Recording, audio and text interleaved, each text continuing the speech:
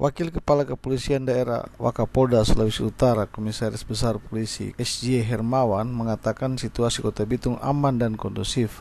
Karena itu, ia meminta semua komponen masyarakat untuk ikut mendukung terciptanya kondisi aman dan tentram. Situasi semakin terkendali, semakin terkendali, situasi semakin menunjukkan kemajuan aman. Kepada para wartawan di Mapolres Bitung Rabu siang, Wakapolda menjelaskan keberadaannya di Kota Bitung adalah untuk mendampingi tim dari Polda.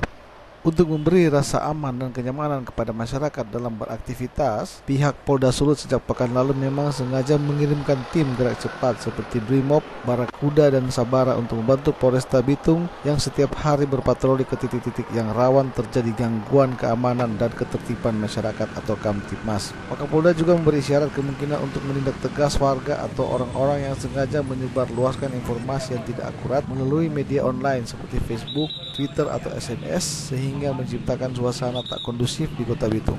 Menurut Wakapolda, orang-orang yang menciptakan suasana tidak kondusif itu patut dicurigai adalah bagian dari kelompok atau orang-orang yang sengaja ingin mengacaukan Sulawesi Utara selama ini. Ia berharap masyarakat kota Bitung dan Sulawesi Utara umumnya jangan mudah percaya dengan informasi yang tidak jelas.